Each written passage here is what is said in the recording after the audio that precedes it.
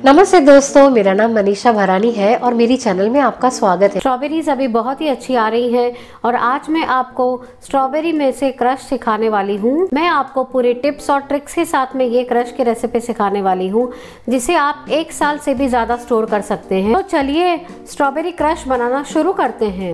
मैंने ये हाफ़ के जी स्ट्रॉबेरी ली है और हाफ़ के जी स्ट्रॉबेरी लेके मैंने उसको टुकड़ों में काट लिया है। अभी मैं आपको स्ट्रॉबेरी को हम कैसे प्रिजर्व करेंगे वो दिखाऊँगी। हाफ़ के जी स्ट्रॉबेरी है तो मैंने पाव किलो शक्कर ली है। मेरी स्ट्रॉबेरी थोड़ी सी स्वीट है। अगर आप स्ट्रॉबेरी लाते हैं और वो खट्टी निकली तो आपको करीबन 400 ग्राम शुगर लेना है।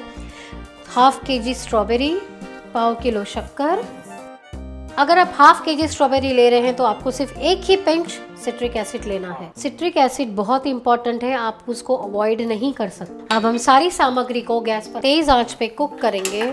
आप इसको लगातार चलाते रहिए। जैसे ही शक्कर मेल्ट हो जाएगी, उसके बाद हम आँच को फास्ट कर देंगे। दोस्तों, आप ये देख सकते हैं, ये शक्कर पिघल चुकी है। जब शक्कर पिघल जाए, तभी आप आँच को तेज कीजिए। दोस्तों, आप देख सकते हैं, शक्कर पिघल चुकी है। अब मैं आँच को तेज करती हूँ। और इसे हम दो से तीन मिनट के लिए कुक करेंगे। आपको बिल्कुल भी इसमें पानी नहीं डालना है। दो से तीन मिनट हो चुके हैं। अब मैं आँच को बंद कर देती हूँ। अब हम इसे एक बोल में निकाल लेंगे। बहुत गर्म है, आप सब संभाल के इसको करना। जब भी बनाओगे तभी। अब हम इसे हल्का सा बीट कर लेंगे। आपको इसको बिल्कुल भी ज़्यादा क्रश नहीं करना है। अब ये जो हमने क्रश किया है, वो मिश्रण को हम कढ़ाई में वापस ले लेंगे। आप देख सकते हैं, थोड़ा पल्प है और थोड़ा सा हमने ग्रेवी बना लिया है। थोड़ा सा मैंने उसको पीस लिया है।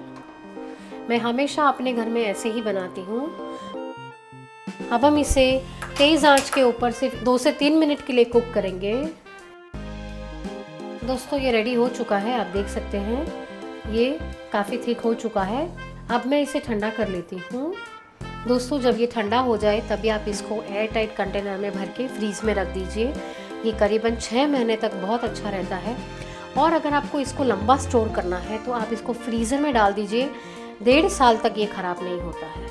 आप इसे केक के अंदर डेजर्ट्स में, शरबत में, बहुत तरीके से आप इसको यूज़ कर सकते हैं।